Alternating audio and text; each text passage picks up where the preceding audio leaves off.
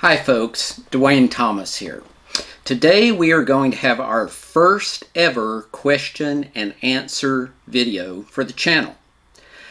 This is where I will answer questions that were sent to me by my Patreon subscribers and my Facebook friends and this is your opportunity to ask me anything you want to ask me. Okay, let's get started. Kevin Bryant says in your experience, not just personal, but observing other people, what is the most effective way to concealed carry a gun? I think if you want to see what works best, the easiest way to do that is to look at what the vast majority of people do, because the cream really does rise to the top. And what the vast majority of people do when they're concealed carrying a handgun is they have it in a holster on their belt on the strong side of their body. When you factor in everything concealability, comfort, accessibility, um, the ability to get to the gun with one hand as opposed to having to you know pull aside a concealing garment that really is the way that works the best. Now, the only way in which I kind of differ from the norm on that is that I strongly prefer a three o'clock carry, a true strong side carry, as opposed to the more common, you know, 3.30 or 4 o'clock behind your hip carry. And that is primarily because it is a lot more comfortable when you're sitting in a car seat because the gun tends to lie along the side of your body. You're not literally sitting on the gun and jamming its gun butt up into your floating ribs. And it's also a lot more accessible because again, it's lying on your side. You're not literally sitting on the gun. So if you need to draw the gun when you're sitting in your car with, you know, a three o'clock carry, all you got to do is reach down, draw the gun. It's pretty straightforward. I don't think it's necessary to go inside the waistband. Um, if you're wearing the gun under a short concealing garment, you know, like a short windbreaker, um, having the lower part of the gun inside the waistband could be an advantage.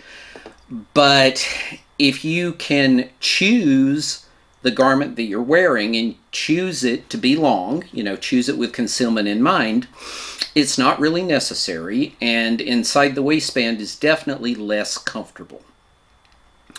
Also, it pretty much requires that you go behind the hip with the holster at an FBI tilt.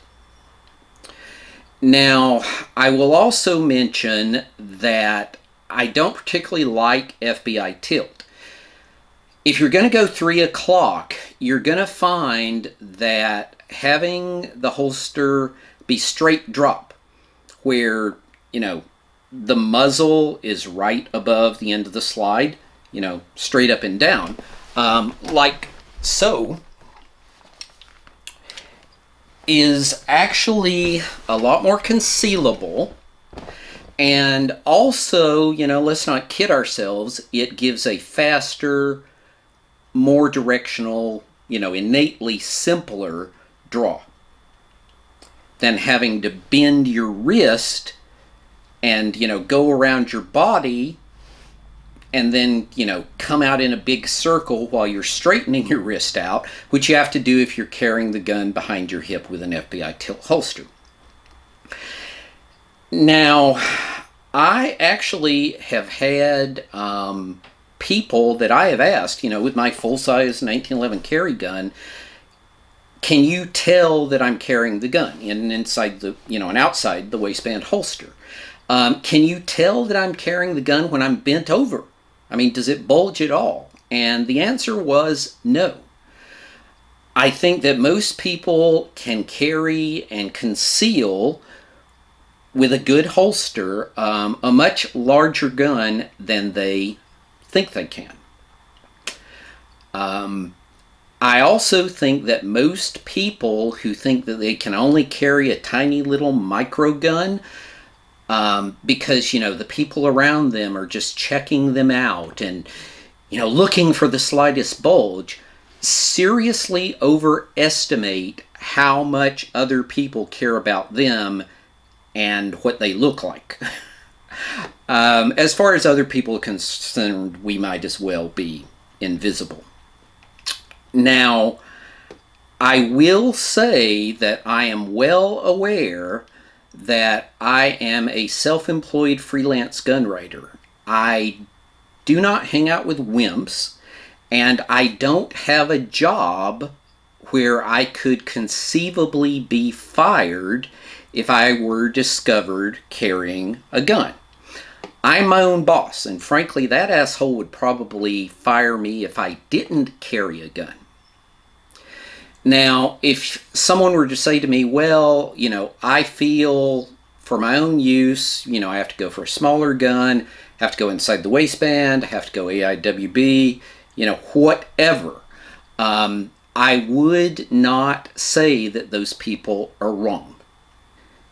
You know what works for you better than I do. So go for what works best for you. Okay, moving right along. Stephen Martin says, How did you get to where you are now from where you started, and why did you do that as opposed to something else? Well, you don't really specify what you mean there, but I am going to assume that you mean why am I a gun writer? And why do I do that as opposed to making my living some other way?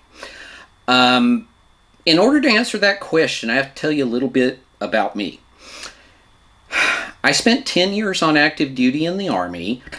I sold my first gun article when I was 25 years old in 1989 while I was still in the Army. And I sold gun articles for a few years, built up my markets, and then in 1992, I exited the Army and I've been making my living as a gun writer ever since. A few years ago, I passed the 1,000 articles written and sold mark and three books and more of all of that stuff to come, I promise you. Um, as to why I do this as opposed to anything else, it's because I love it. I, I love writing, I love shooting, I love learning about guns, I love learning how to shoot guns. Um, I cannot imagine any job that would suit me better than freelance, self employed gun writer. And I would be absolutely miserable doing anything else. So it's not like I really have a big choice. okay, Malala Malala says, which would you prefer? Great sights or trigger? Well, I think for a self defense carry gun, there are certain things you absolutely need. Um, number one priority the gun has to be reliable. Period. That is not negotiable. Other than that, you need sights you can see and a trigger you can control and if you're going to shoot your best, you need a gun that fits your hand so the gun points naturally. So, as far as the question of, you know, would you rather have great sights or great trigger? As far as I'm concerned, that is like saying, would you rather have a heart that pumps blood or would you rather have lungs that breathe air? Um, the bottom line is you need both.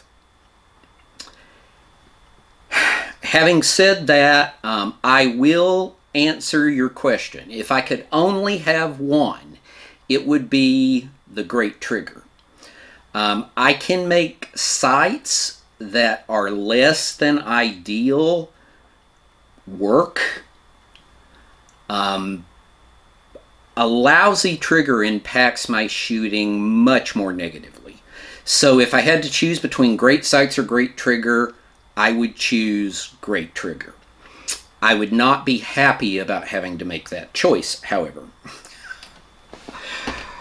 David Costas says, if you could only have one handgun on one single caliber, I assume you mean in one single caliber, what would it be?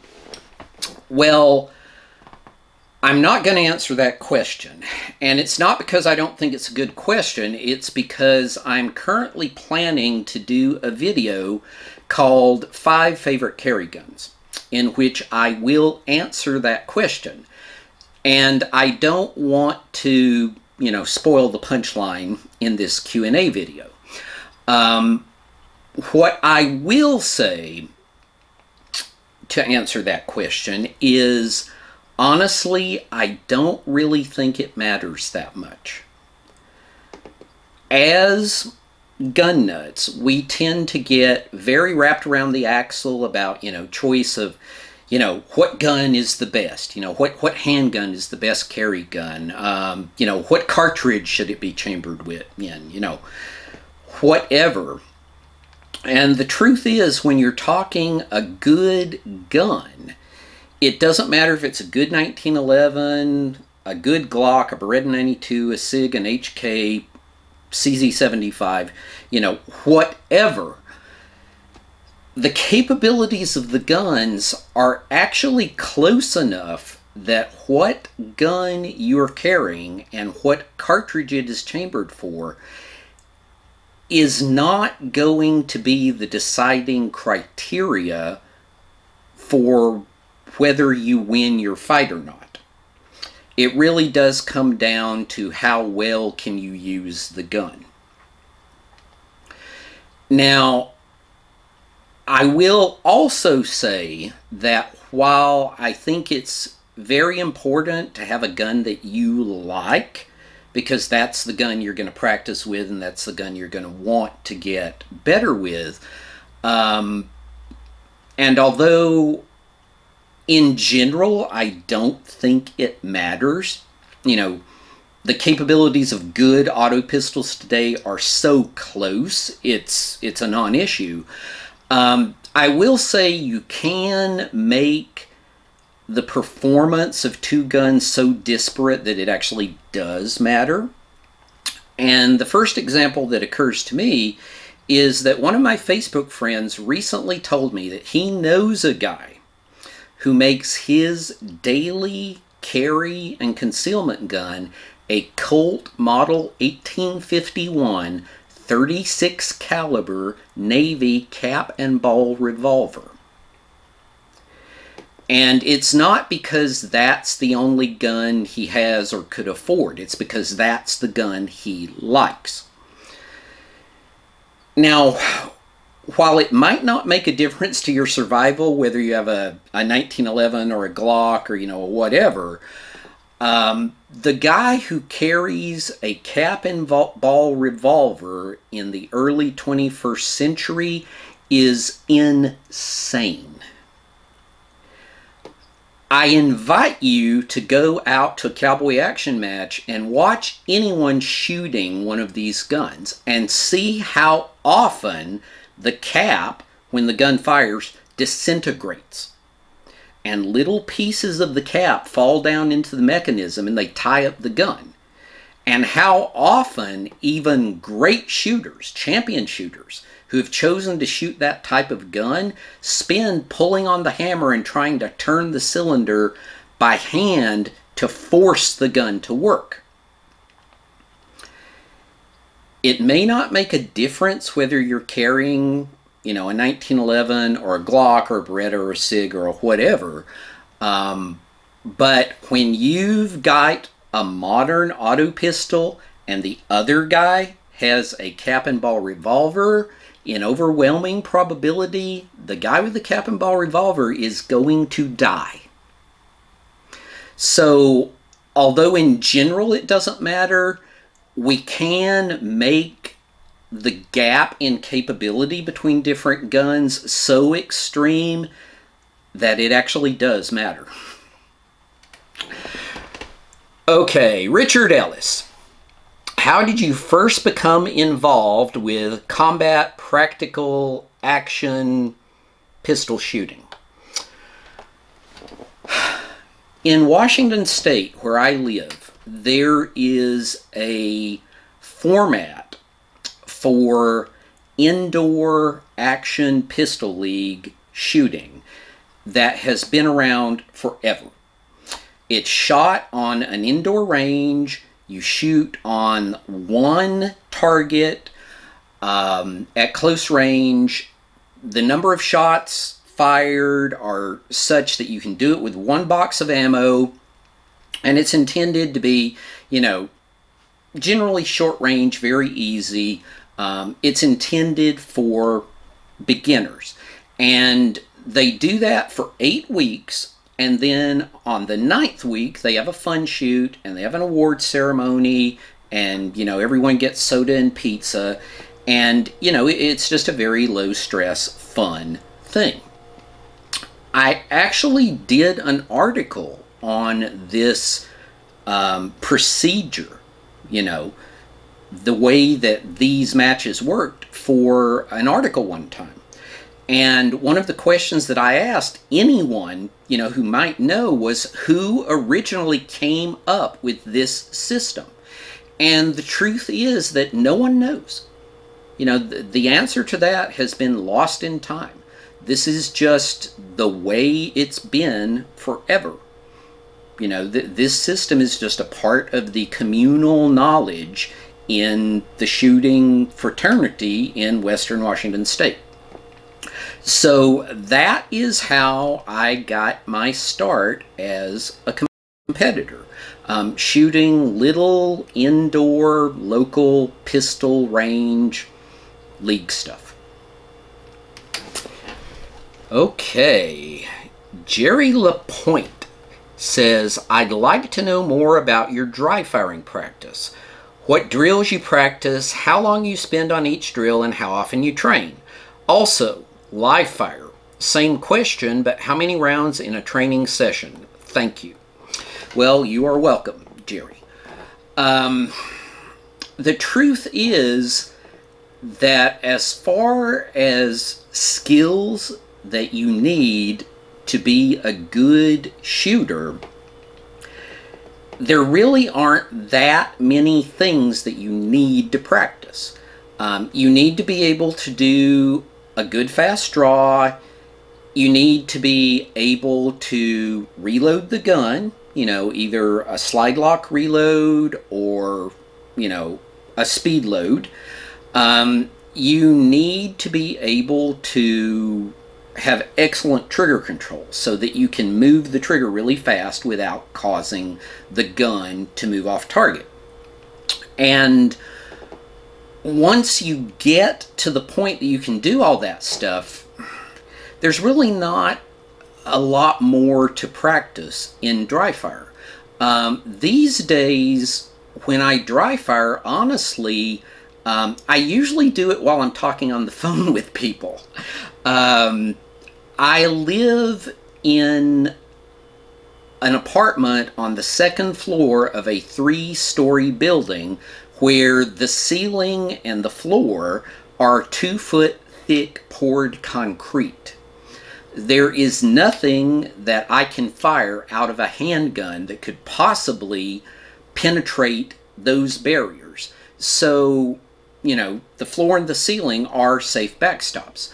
Um, there is no reason that I can't lie in bed while talking to someone on the phone and practice dry firing. Um, as a matter of fact, the you know people who know me who talk to me on the phone um, regularly have gotten so used to the sound of a gun dry firing um, that they don't even notice it anymore. You know, for me, it's just normal.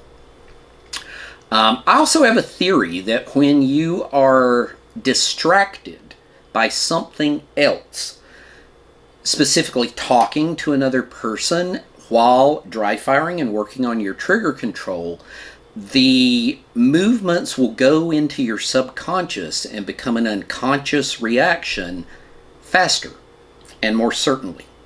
Um, so, how often do I dry fire? I dry fire every day. Um, I dry fire, you know, occasionally um, practicing things like draws, speed loads, slide lock reloads, um, left hand only, right hand only, shooting while moving. Um, there's a limit to how much of that you can do in an apartment, but I practice what I can. Um, mostly what I do actually is just work on my trigger control, and that normally mostly happens while I'm talking on the phone with people because I just look at that as dead time that I could be dry firing. And no opportunity to dry fire should go unmolested. As far as live fire practice sessions, um, as time has gone by, my practice sessions have actually gotten shorter. They used to be typically like 500 rounds for per practice session. Um, my longest practice session was 1,500 rounds. and uh, it took about eight hours. It was on an indoor range that was basically just one open area. It was about 60 feet square. And by the time I finished, um, literally you could not walk on that floor without walking on a shell casing, except for this one little circular area where I was standing. But that was extreme. Um, typically, it was about 500 rounds. Um, as time has gone by, these days, mm, 250, 300, and I have come up with a um, very specific set of drills that I do to measure how well I can shoot a particular gun and I will go out and I will do that. Um, you do hit a point in your shooting where the the practicing the basic stuff it does kind of become boring. So what I will do a lot of times is I will just pick a particular drill that I think is fun and I will do that drill. You know, like uh, I will do, you know, the Ken Hackathorn, Larry Vickers, The Test. Um, or, you know, I'll do the 5x5 drill or, you know, the one, two, three, four, five drill. You know, just, just all this stuff that is more interesting than just, you know, working on stuff I already know. Um, now, I will say also that while you're exercising the skills that you already have and doing fun stuff, um, don't forget to work on the stuff that you already know how to do because the truth is we can always be better. Alrighty, Nelson R. Cologne, Nemo, my old internet friend. Uh, he says, I know you have a high classification and have had good finishes in your local IDPA circuit. Do you compete in USPSA matches? If not, why? Um, the answer is I don't currently, I have in the past. Um, I actually started shooting IDPA in early 1997. I actually shot the first IDPA match that was ever held in Washington State at the Firearms Academy of Seattle in early 1997. Um, I started shooting USPSA in 1999.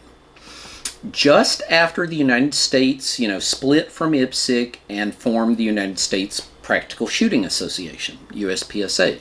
So technically, I have never actually shot an IPSC match. For me, it's always been USPSA. And for quite a while. I would say maybe until maybe 2005 or so.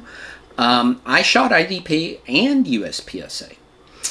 And I used to tell people um, at the time that I think I'm a better IDPA shooter, but I enjoy USPSA more. Um, there is something about, you know, this sort of semi-fast, very accurate, you know, put the bullets right where they need to go um, vibe in USPSA that works really well for the way my mind works. Um, having said that, in USPSA, let's not kid ourselves. Shooting fast is more fun.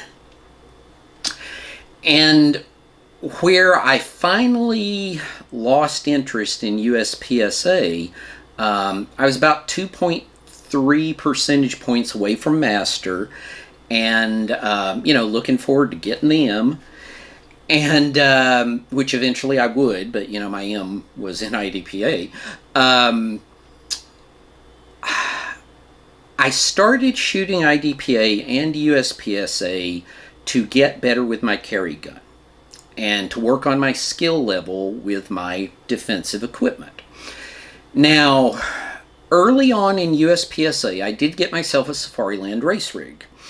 And that could be, you know, a, a, topic for video all its own. But I think even if you're focused on doing it all with your carry gear, there is something to be said for doing a certain amount of work with a race rig because it is easier to draw faster and it's kind of like training wheels for speeding up your draw.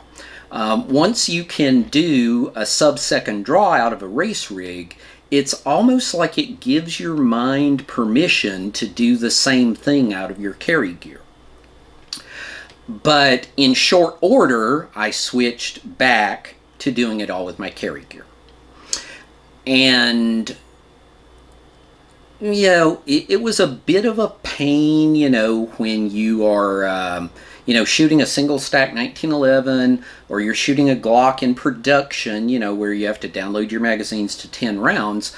Um, you know, I, I wasn't able to do it with the two, you know, magazines I normally carry on my body, you know, in concealed carry. I had to put on, you know, a second um, double mag pouch, you know, just to complete a stage. But I was able to justify that to myself because I said, you know, okay, that's just more practice reloading under stress while moving. You know, great, wonderful. And then as time went by, what really lost um, me my interest in the sport was some of the props that started showing up. Um, when the Texas Star showed up, again, I was able to justify it. I said, yeah, okay, um, you have to shoot fast and accurately, you know, to clear Texas Star. Yeah, okay, I can see the relevance. Um, but when things like Polish plate racks started showing up, that was when I just I hit my gag limit. I, I was just like, no, this is silly if I want to shoot a Carnival arcade game, I will go shoot a Carnival arcade game. Um, having said that, you know, never say never. I'm not going to say that the day will never come that I'm shooting USPSA again. It is certainly possible.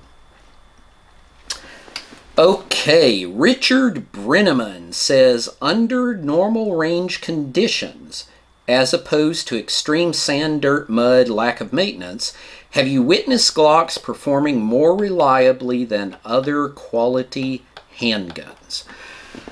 Um, before I answer that question, I, I just want to specify I clean my Glocks every 10,000 rounds. Um, not because I'm a slob who doesn't respect machinery, but because most people don't know how their guns will operate, or if they will operate, when they're that dirty and they haven't been lubricated in a year. And I don't want to come across as all prepper because I'm not. But it is conceivable that one day I might have to operate a gun in an environment where I don't have access to cleaning supplies or lubricants. And most people don't know how well their gun will work or will their gun work in that environment because they've never done it. I have. And my Glocks just keep working. So when it comes to reliability under harsh conditions, you know, extreme use, lack of maintenance, Glocks are the gold standard. Period. End of story. Having said that, um, to answer your question, just in normal use, you know, it's a carry gun, it's a match gun. You can keep the gun, you know, reasonably clean and well lubricated. Have I seen any advantage in reliability in the Glock over, you know, other good guns? you know, a good 1911, a Beretta 92, a SIG, an HK, you know, uh, whatever. Um, no, I haven't. There are some guns that are commonly considered good that, in my experience, are notably unreliable. I've never seen a Springfield XD complete a match without having multiple malfunctions. I've never seen a Kahr of any type complete a match without multiple malfunctions. I've rarely seen a Browning high power complete a match without multiple malfunctions. Now, I will be the first to admit that may have a lot to do with the ammo that people were putting in the guns. Um, but if you are talking, you know, good guns, you know, first tier guns, that are reasonably clean, you know, reasonably well lubricated, no, no, they're not more uh, reliable than a Glock. The Glock's um, advantage of extreme reliability under extreme conditions, it's very desirable if you're operating in those extreme conditions, but the truth is the vast majority of us don't. Um, other guns that are less reliable in extreme conditions can work just fine if they're not being operated in those conditions. Okay, William Tracy asks, how big are the real differences between stopping effectiveness of 9x19 and 45 ACP. What degree of overlap is there depending on the load? 9 by 45, or rather 9 versus 45. Um, the eternal question. I'm a really bad person to ask that question because I came to the conclusion long ago that all any of this stuff does is make holes if you can shoot whatever gun you are armed with, you know, with whatever cartridge it is chambered for, if you can fire that gun fast and accurately and put multiple rounds where they need to go, it doesn't matter, within reason, um, what you're shooting. You know, 9, 40, 45, 380, you know, whatever. Um, if you can put the bullets where they need to go and you can put multiple rounds where they need to go in a short time frame, anything that you shoot will probably get the job done. And if you can't do that, anything you can shoot probably won't get the job done. Now, um, I will say, by the way, this next thing I'm going to say um, is not meant to insult your skill level. I, I know you. I know that you are a serious shooter. I know you're a good shooter. Um, having said that, I will say there are people in the world, not you, um, who tend to get really fixated on the equipment. You know, it has to be a particular gun. It has to be chambered for a particular cartridge. It has to be, you know, the perfect load. And honestly, I don't think they're putting their time and attention where it needs to go.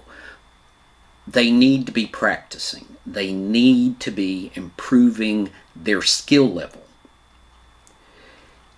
If you can shoot fast and accurately and put the bullets where they need to go, what those bullets are in overwhelming probability is going to be completely unimportant. And lastly, Bernardo Del Carpio says, Your glasses look very thick. I have noticed that myself. I wonder about your vision and how it influences your ability to shoot. Also, how you have them set up for shooting, i.e., do they allow you to focus up close on the front sight or downrange at the targets? I think that a lot of people make this whole glasses thing with shooting a lot more complicated than it really is. and you know you'll see people trying to make bifocals work and uh, you know they'll have you know their master eye has a lens you know where the focal distance is set up for the front sight and then the other lens is set up for distance and you know they get massive headaches you know um, because you know like this eye is trying to do one thing and the other eye is trying to do the other. Um, I am very fortunate that I have an optometrist who is a shooter and you know he shoots rifles but still he has no problem with me bringing my gun into his office and I have told him, I want you to set up the focal distance on my prescription for the front sight.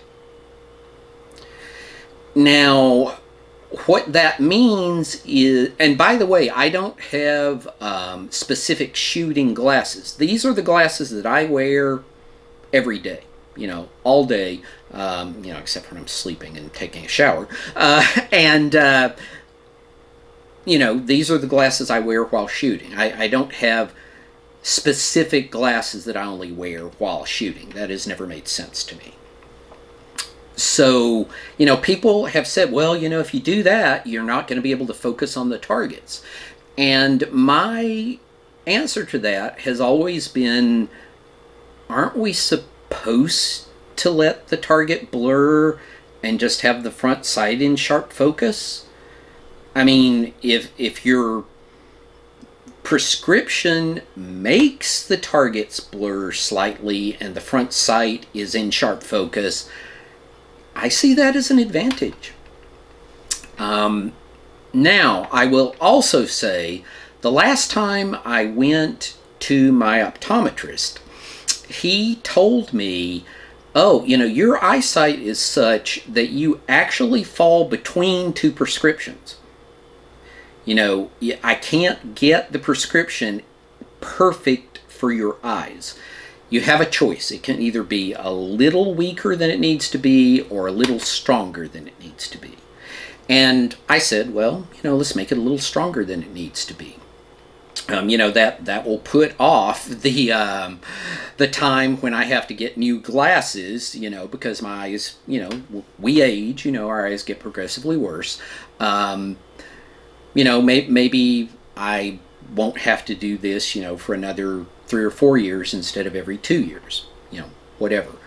Um, sort of the unintended consequence of that, and it was unintended. Um, if I had figured this out, I would feel like a super genius, but it was it was a total accident. Um, having eyes, um, having eyesight you know, having a prescription that modifies my eyesight um, and having the prescription be stronger than it actually needs to be, um, what I have found is that, you know, targets that are in close, you know, are still a little blurry. Um, but the front sight is in focus, you know, if I'm looking at the front sight, you know, targets are blurry. But I have found is if I want to, I can look straight at the targets. And that goes out further than you would think. Um, one of the drills on the Firearms Academy of Seattle Handgun Master Test um, is a long range drill, you know, 15 yards, you know. And um, one time when I was shooting this drill, they were actually using the Las Vegas Metro PD target, which is black lines on a white background. And what I found out was that at 15 yards with this prescription, not only can I see my bullet holes appear, um, I can see the lines on the target. So to answer your question, um, my glasses, my corrected vision, work great for shooting.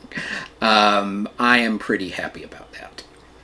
So, that is the end of the questions for our first ever question and answer video. I thank you to everyone who provided questions, and I look forward to doing this again. You have a good one.